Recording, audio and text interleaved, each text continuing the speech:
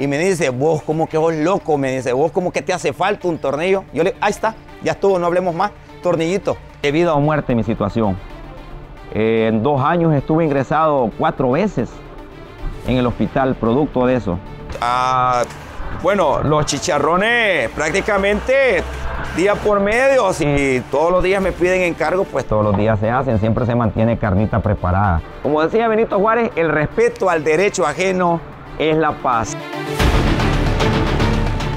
Hola, mi nombre es Simeón Márquez, conocido también como Payaso Tornillito, nacido en San Francisco Gotera y aquí estamos con este emprendimiento. Esta es mi historia.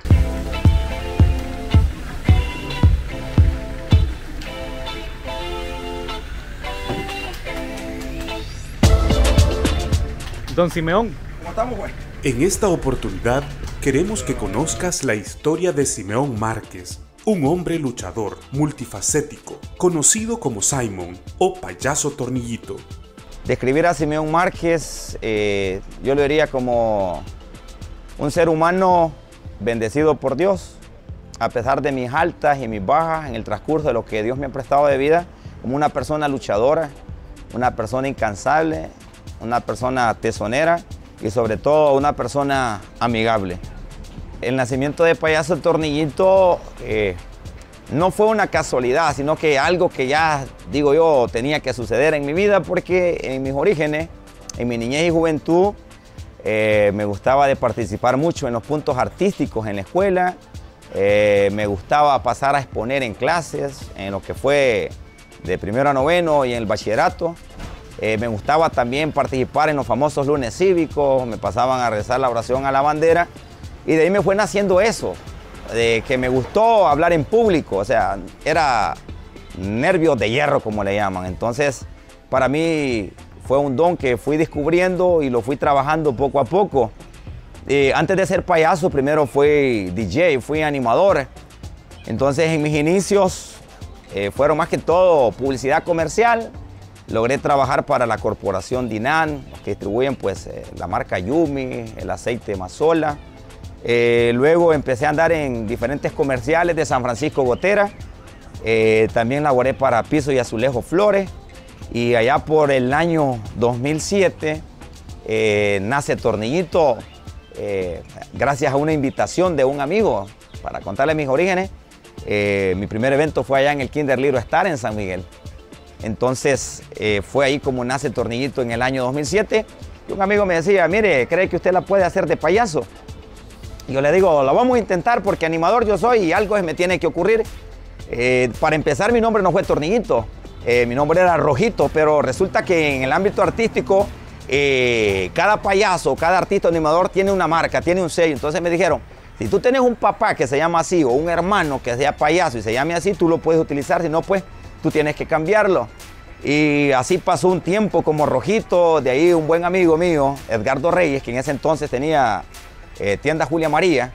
Hoy pues él tiene el Turicentro San Lucas del Valle. Me dice a mí, bueno, ¿y cómo te vas a poner? Eh, empecé a trabajar con él en las tiendas Julia María y ya sacaba eventos yo de payaso. Me tocaba prestar o alquilar trajes, comprar poquitos de maquillaje. Y me dice, vos como que vos loco, me dice, vos como que te hace falta un tornillo. Yo le ahí está, ya estuvo, no hablemos más, tornillito. Ese fue eh, la idea, el chispazo, pues, porque yo siempre he sido excéntrico, siempre he sido alegre, jovial, y él me dice, a ti como que te hace falta un tornillo. Entonces de ahí nace el nombre de Tornillito. Simon, desde hace algunos años, también ha emprendido en el área gastronómica, con su venta de tortillas y los únicos e inigualables chicharrones de cerdo, que prepara con un sabor especial que es lo que lo caracteriza y lo que hace que la gente los prefiera.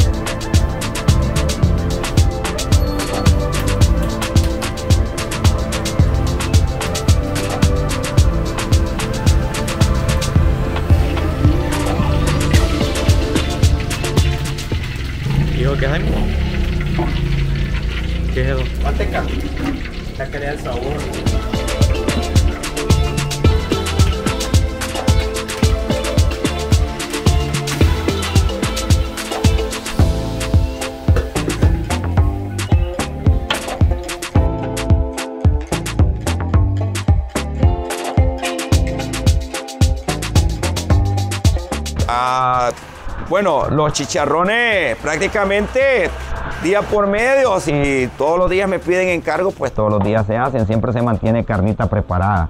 Carnita para preparar en espetón o a la parrilla o para preparar chicharroncitos, siempre están a la disposición.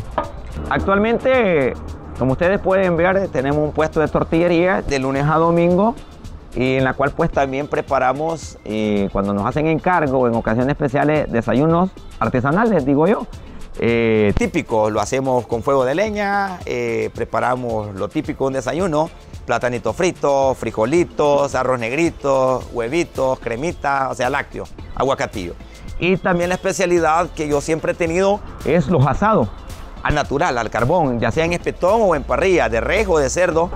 Y también cuando me encarguen alguna celebración especial, si usted tiene algún peligüey, algún chanchito, algún ternerito, yo se lo destazo y se lo preparo, le hago consomé, los asaditos, chicharrones, lo que usted quiera. Y pues con la tortillería fue una combinación de algo que es experta mi compañera de vida, desde los 6 añitos de edad comenzó a hacerlo, y yo que tengo desde los 10 años que aprendí a destazar cerdo, creo que nos hemos juntado dos luchadores, eh, dos personas con entusiasmo y con ganas de salir adelante. Usted nos puede encontrar acá por Panadería Ana Vilma, en el corazón de Gotera, aquí en Barrio La Soledad, en la cuarta calle Oriente.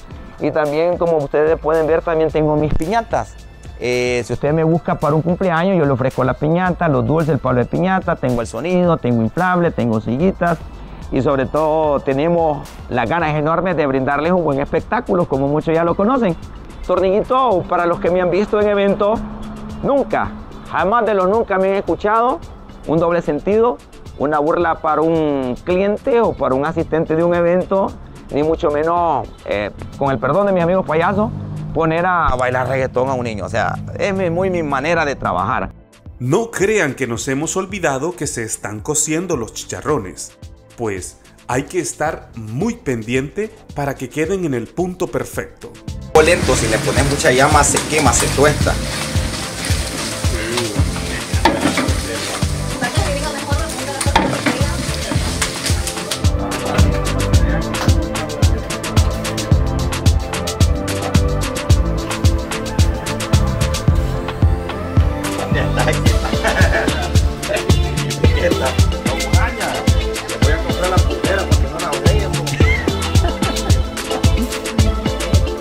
Así quedaron. Están listos para degustarlos. Y pues, no podíamos quedar sin probar este manjar salvadoreño, tortillas recién salidas del comal con chicharrones de cerdo. Riquísimos, 100% recomendados.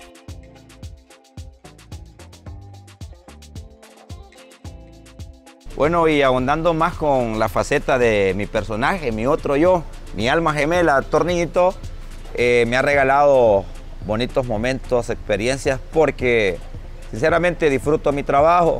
Todos realizamos un trabajo por necesidad, porque tenemos necesidad de salir adelante, necesidad de cubrir nuestros gastos, eh, necesidad de las responsabilidades familiares, pero este trabajo, sinceramente de corazón, yo lo disfruto.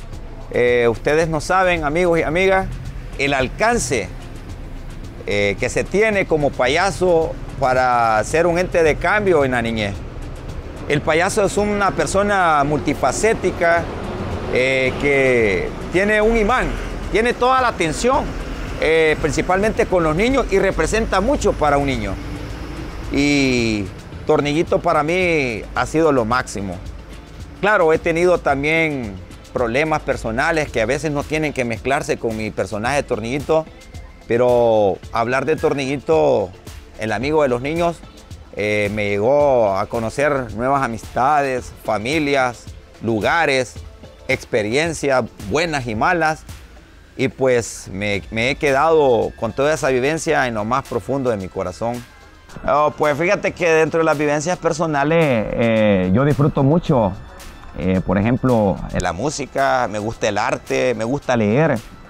soy bachiller, contador eh, de los contadores de antes, como le dicen. O sea, de los que, podemos contar, que no necesitamos calculadora, nos, aprendíamos la tabla, aprendí taquigrafía, mecanografía, eh, recibíamos eh, clases de moral, urbanidad y cívica, muchas materias que hoy son necesarias. que me ayudaron en mi formación. Simeón Márquez nos cuenta algunos momentos muy difíciles en su vida, escenas que han quedado marcadas. Sin embargo, el deseo de lucha y superación es tan grande que es lo que le ha permitido vencer los obstáculos y salir adelante. Bueno, hablar de Simeón, como le decía de un inicio, es hablar de una persona luchadora. Creo que muchas personas han pasado igual o peores situaciones de las que yo he vivido. Para empezar, soy el mayor de cinco hermanos. Mi propio papá genético no lo conozco. A los dos años mi mamá inicia una nueva relación. Eh, me crío con un padrastro, el cual pues cuando yo tenía la edad de 14 años él nos abandona. Entonces eh, venimos de un hogar desintegrado, ¿verdad? Hubo un abandono familiar eh, hubo etapas de la vida que en las cuales pues me tocó hacerme cargo de mis hermanos, les lavaba, les echaba, les cocinaba y fue una experiencia que me marcó de por vida. Eh, luego, joven, estudiando mi bachillerato, me convertí en padre de familia, mi primera experiencia, en la cual pues también fue muy significativo, en la cual tuve que sacar todo aquello que había aprendido a tan corta edad doy gracias a Dios que a los 10 años empecé a destazar, aprendí. Vengo de una generación de destajadores de cerdo. Me llamo Simeón por mi abuelo Simeón Márquez. Eh, cuando sucede eso del abandono de hogar por parte de mi padrastro, pues empiezo a destazar cerdo. Eh, más cuando me convierto en padre de familia joven, eh, ese fue mi primer recurso. Estuve destazando cerdo.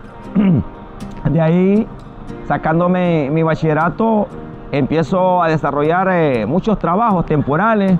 Anduve de ayudante de albañil, eh, estuve aprendiendo panadería acá, donde nuestra buena amiga doña Vilma Pacheco, sé panadería. Eh, estuve en un taller de mecánica, anduve trabajando descargando camiones de arena, cargando camiones con piedra, anduve entregando recibos de telefonía y de agua en San Miguel y la zona oriental. Estuve en un car wash, fui ayudante de car wash. Bueno, he agarrado Kuma, le he hecho de todo, de ayudante en taller de carpintería, aunque no me lo crean, de todo. De todo. Cuando digo todo, es todo. Así es que eh, de ahí me fueron marcando experiencias personales eh, en las cuales hubo episodios muy negros, muy sufridos, por malas decisiones, por cuestiones que a veces te vienen a la vida. Eh, conocí del alcoholismo, en una etapa también conocí de la drogadicción, en las cuales pues me marcaron también momentos muy trágicos y muy dolorosos en mi vida. Eh, fue una etapa ya por el año del 2004, de mediados del 2003 hasta el 2006, inicios del 2007, que fue una etapa muy negra en mi vida. Me, me involucré mucho en las cuestiones de drogadicción, Venía de problemas familiares, acababa de perder mi primer hogar, no tenía una figura paterna, estaba sin rumbo en mi vida, estaba mi vida destrozada, pero más sin embargo ya por el 2007 eh, logro como un despertar espiritual y más no sabía lo que me iba a venir más después. Apenas empezaba yo a dar un paso para salir de donde había caído. Luego de transcurrido unos dos, tres años, a partir del 2007, eh, logro vencer la adicción, que no cualquiera logró. Eh, todos los que han pasado por mi situación saben que las adicciones a drogas son tremendas, son destructivas, donde te esperan resultados que ya todos conocemos, una enfermedad crónica, terminar en un hospital, terminar en un manicomio, en una cárcel o muerto. Eh, luego de eso, pues yo formo un segundo hogar en el cual pues también no se pudo, eh, nos divorciamos, eh, tengo dos hijos y te lo digo, vinieron muchos problemas, problemas que creo que muchos han pasado por mi situación, mas sin embargo yo seguía luchando. Eh, he sido una persona muy espiritual y a mi manera yo siempre le pedí a Dios, ayúdame Diosito, yo no soy de mal corazón, he tomado malas decisiones, pero no soy de mal corazón. Y producto de todo ese desorden me empezó a perjudicar ya en mi área laboral. Empecé hasta a dañar mi imagen como tornillito. eh, ya no era la reacción, empecé a caer en el alcoholismo, no iba a eventos, eh, dejaba eventos botados o mandaba a otra gente en el cual pues yo aprovecho las cámaras para también pedir disculpas, ¿verdad? Si alguna persona alguna vez se vio perjudicada o dañada por esas actitudes o esas situaciones que yo creé, en la cual pues poco a poco he ido mejorando. Y luego el alcoholismo me empieza a camuflajear un estilo de vida diferente, llegaba a eventos, a jaripeo, con los amigos, con la cherada y me iba metiendo, aunque yo no lo quería ver, despacito a un pantano que luego vino a detonar en situaciones muy graves. Hace como un par de años logro conocer a mi actual compañera de vida y yo venía de una etapa desastrosa, perder un segundo hogar y en la cual pues yo tuve que poner como en buen salvadoreño las barbas en remojo. Yo decía, ¿dónde está aquel Simeón? Aquel Simeón luchador, ¿A dónde está todo aquel trabajo que yo he hecho? ¿A dónde están mis anhelos? ¿Dónde están mi esperanza y sobre todo dónde está mi fe? Y había que dar un cambio rotundo. Pero los designios de la vida y los planes de Dios dicen que no son los planes del hombre. Eh, empiezo a trabajar siempre en lo mismo y ya duraba tres, cuatro meses en sobriedad, luego venían las recaídas, eh, problemas por un lado, problemas por otro y yo detonaba en el alcohol. Caí en cuadros depresivos de aislamiento, me encerraba tres semanas sin comer, sin dormir, sin tomar agua. Ya era de vida o muerte mi situación. Eh, en dos años estuve ingresado cuatro veces en el hospital, producto de eso. Vino para mí en el año 2022, el año pasado, en el cual sí toqué las puertas de la muerte. Estuve tres ingresos en dos meses y Estuve paralizado en cama siete semanas y medio sin poderme mover, ni manos ni pies. Eh, estuve tan mal que mi sistema nervioso colapsó y si estoy vivo es por un milagro de Dios. Y yo decía, Diosito, ayúdame. O sea, por mi misma cabeza, como hay muchos, por mis mismas decisiones, yo había llegado a esa situación. Y mi mensaje es, aprovechando buenos amigos de Morazán Digital es que a través de esta entrevista, si hay muchos o muchas que están pasando en eh, situaciones iguales o peores, lo primero que yo les aconsejo es que jamás ni nunca pierdan la fe en Dios. No importa la religión que usted profese, si usted cree en un ser superior, hágalo, pero de corazón, con el alma rota, con el corazón despedazado, como usted esté con los sentimientos destrozados, eh, dobléguese a Dios. Duele, Duele, yo lo sé y mucho, pero no nos queda más que encomendarnos a las manos de Dios y Dios obrará. Si se lo estoy diciendo es porque yo he sentido eso. Yo venía jugando con, con fuego y no había llegado a ese despertar espiritual verdadero, como yo le llamo ahora. Es decirles que estamos en un momento futbolístico clave para Morazán. Hace 30 años Fuerte San Francisco desciende a la segunda división y hoy está a un paso de regresar 30 años después a la primera división. Pero también están nuestros buenos amigos del Club Deportivo Pipil, nuestros hermanos Cacahuira, morazánicos también, que están en fase de semifinal. Eh, yo lo dije hace como dos meses, que el que subiera iba a ser del Oriente.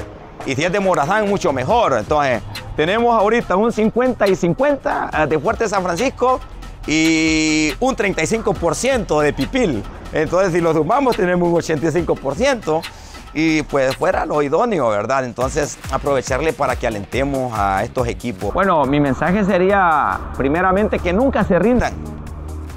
Nunca se rindan cuando ustedes tienen una meta o un sueño por cumplir. Cuesta el inicio, el primer paso cuesta, pero después eh, el proceso para mí tiene que ser divertido, tienen que disfrutar ese proceso, esa transformación personal a través de alcanzar sus metas. Como lo decía, venimos de una generación de posguerra donde muchos padres fueron a Estados Unidos, dejaron a sus hijos chiquitos, se crecieron con los abuelos. Hubo limitantes educativas, limitantes laborales, pero hoy los jóvenes tienen eh, más espacios.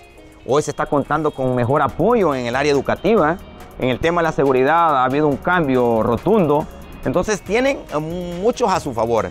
Lo que les queda nada más a ustedes meterle ganas meterle ganas y seguir adelante. Si se pueden preparar con una carrera universitaria, háganlo, aprovechen que papá, mamá o alguien en Estados Unidos nos manda la remesita o que ustedes tienen esa facilidad a través de beca o por medios propios de estudiar y seguir adelante. Porque ustedes van a ser el ejemplo, el camino a seguir de otros jóvenes o otras generaciones que vienen atrás de ustedes. Como decía Benito Juárez, el respeto al derecho ajeno es la paz. Y créame que si usted con la sinceridad de su corazón y su alma hace una oración, esa oración no regresa vacía. Dios le va a multiplicar todo lo que usted haga en su vida y sobre todo pues Él nos ama en gran manera. Así es que yo les agradezco por la oportunidad y como siempre a seguir adelante, Simeón Márquez, payaso tornillito a sus órdenes y gracias por la visita.